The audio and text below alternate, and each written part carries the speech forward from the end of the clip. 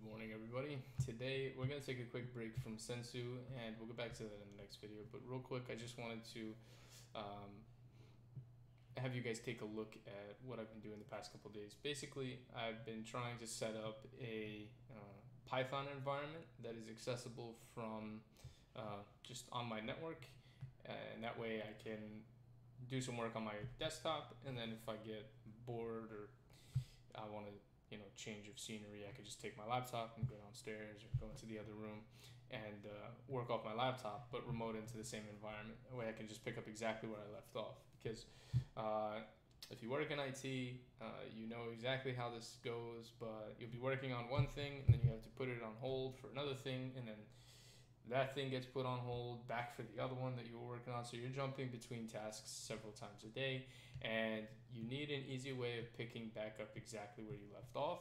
And it's kind of difficult when you're trying to learn a uh, language like python or javascript or whatever it is you're trying to learn.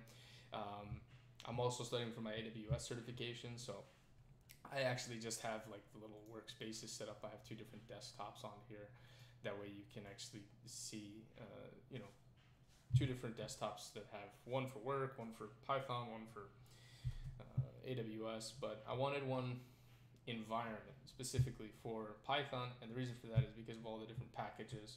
Um, because i'm not doing software development in python i'm more doing automation and scripting which requires uh, a couple packages depending on what kind of script you're running uh, and sometimes different APIs need to be downloaded and stuff like that. So I was making a Discord uh, bot, if you guys are familiar with Python, and you have to download something for that. And then I wanted to interface with my Dyson fan, for example. I had to download some files for that as well. Uh, so it kind of gets annoying having to download something on my desktop, and then if I want to pick up on my laptop, I have to either remote into my desktop, which kind of is a little bit weird, um, I mean, I guess I could do that, but what's the fun in that? Uh, so basically, I'm going to take you guys through the steps that I went through to get VNC running on Arch Linux, which the current distribution I'm running is Manjaro Linux, and I think it's pretty cool. Um, the first things first, you have to have the virtual machine, and here I am inside my virtual machine, and I have the uh, documentation that I followed to get it up and running. Uh, I kind of skipped a little bit of steps because I didn't need to set up everything um, through uh, headless sessions and stuff like that. So basically, I just ran X0 VNC to directly control the local display of the computer. Um, reason for that is when you're directly controlling the local display, uh, basically you don't need to have. Um, I mean, technically, if you did colon one, if you just connected to the same screen every time, you'd pick up exactly where you left off. But because I'm the only one that's going to be doing this uh, in my house, and I'm the only one that's going to remote into this, I didn't really need to set up different screens and stuff like that for different, um, you know, connections.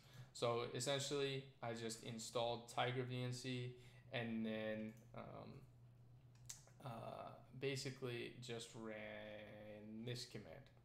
So it's x0 VNC server dash RFB auth, and then you pass the file for the VNC password. Uh, that is automatically in uh, your root directory, and then .vnc, and then select the file is called password, uh, passwd. But um, if you don't have that, then uh, just run VNC password. And then here's where you'd create it. And then from there, you'd have that file. You can run this. And then uh, if you have a VNC viewer, the way I do, I'm just using regular VNC viewer.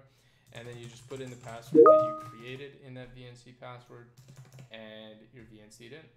And there you go. Very simple, very quick, easy way to get into the same environment on multiple different computers.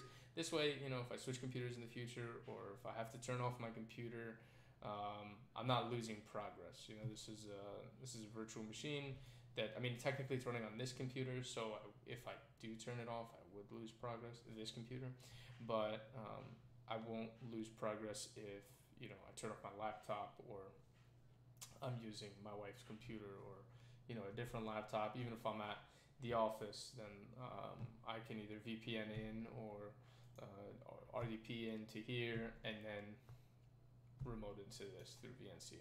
So just a quick way of getting um, to a uh, controlled environment where I know what's installed, I know what's not installed. I don't have to keep checking for different things and different versions, and because that takes time when you're trying to learn uh, a programming language. It takes time to verify that you have all of the proper uh, packages and the versions line up. You know, I might have the Python environment variable uh, set to 2.7 on my laptop, but Python 3 is connected there. So this offers a level of consistency uh, without having to set up two different computers in the same way. My laptop is a Mac and my desktop is a Windows machine, obviously. So it also makes it not difficult, but it just adds another layer of complexity into it. So I'm adding a third layer of complexity into it and just saying I'm going to do everything on Manjaro Linux uh, and I'm going to VNC into it. It, uh, it just kind of keeps it consistent. I get to do everything on here. And uh, yeah, that's pretty much it.